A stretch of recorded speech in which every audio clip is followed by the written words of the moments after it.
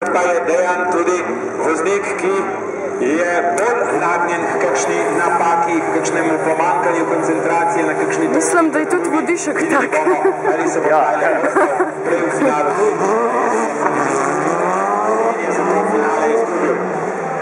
Tomaž Vodišek je zdaj bolje štartal od Dejana Petriča, vendar v naslednjih dveh krogih bomo videli, kako se bo tale dirka razpletla. Takoj za njo pa še Walter Edman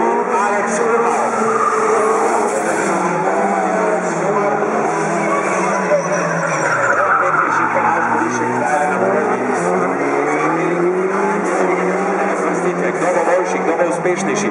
Favorit bo gotovo po današnjih časih in po današnjih izidih Dejan Petrič.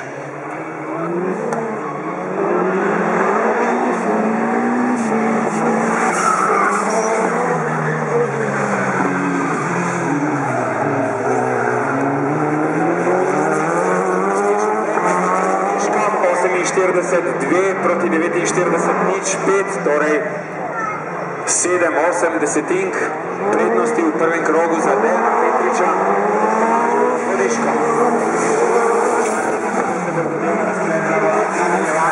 V preštartnem prostoru pa že drugi polfinalni par. Alex Humar. Še na Valterja Otmana. Zdaj oba, ki vozita prvi polfinale že v drugem krogu, Dejan Petrič in Tomaž Vodišek. Mislim, da ima Petrič še vedno še zadnji zavoj in pritisk uspeva brez Bravo, bravo, super. Tomaž Vodišek, pas